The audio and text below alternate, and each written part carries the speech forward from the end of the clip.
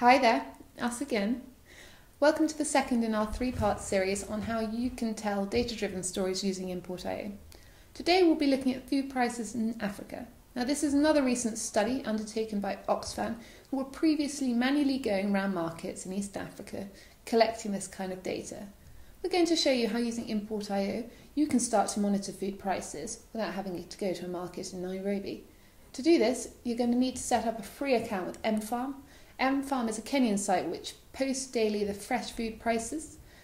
And with our resident expert Alex here, we're going to show you how to build an authenticated extractor so you can start getting some insights into food prices in Africa.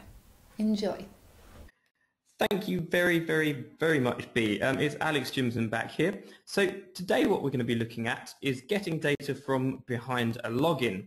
If you watched the first episode, you saw that there was a stage where the browser asked us, is the data that you want to extract behind a login? Uh, in that example, uh, it wasn't, but in the one that I'm going to show you now, it is. So I'm on the mFarm website here, which um, provides people with data about how much uh, Kenyan farmers are selling their produce for. Now, it's all good, apart from if we click on the daily prices, we'll see that we need to sign in or sign up before continuing. This is not a problem at all for the IO browser, and today I'm going to show you exactly how to get this data. So, as always, we toggle the IO button to bring up the workflow. We always press Let's Get Cracking, and we are going to want to use an extractor. Now, does the site require a login in order to get the data? In this instance, it does. And what we're going to have to do now is record our credentials, i.e. our username or email address and password and that's how we get past this stage. So we click on I'm there and we need to hit record to track our login actions. So we hit record and the page will refresh and now we need to simply put in our email. So today I'm assuming a new role as Beatrice Schofield. So I'll type in beatrice.schofield at import.io. It always feels weird typing someone else's email and we put in our password as well. And click sign in. And once we're all signed in, we simply click stop. Now we have recorded our credentials and we're free to extract all of the data from behind this login. So take me to the next step. And now we need to go to the example page. We need to go to the page what we want to get the data from. So I think in this instance, we'll be looking at strawberries. Let's just scroll down to the bottom here and find strawberries. Excellent. And click on filter. So this is the data that we want to get.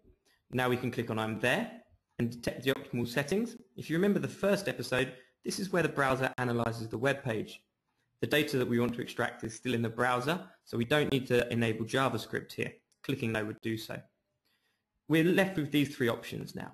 As we discussed earlier, a single product page, a multiple search result page, or our beta feature, Autotable Extract. In this episode, we're going to be looking at Autotable Extract. Now you saw before that the data that we wanted to extract was highlighted in green. This is letting us know that the browser has recognized that there's a table on the web page and it's extractable using our Autotable uh, extract tool. So let's click on that one and I'll show you how easy it is to extract all of this data.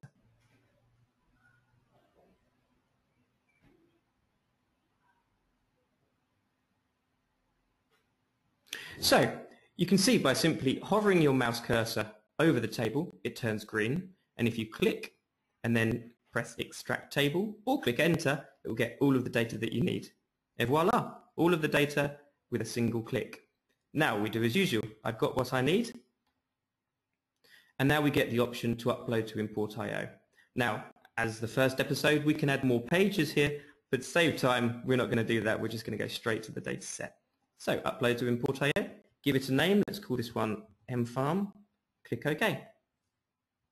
It does its usual checks. These sometimes take a little bit longer with the authenticated APIs, but there you can see we've made an API and we can see the data in the data set.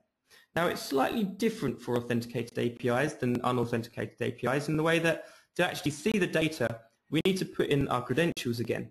We can do this by hitting the query button and putting our credentials into the pop-up. So again, I assume the personality of Beatrice Schofield and type in her import.io web address. or email and put our password in. Clicking on apply will show us all of the data. And there you have it, extracting data from behind a login. B, it's over to you. Thanks a lot for that, Alex, and thank you again for joining us in this very special webinar, and thanks to Oxfam for allowing us to show you their use case.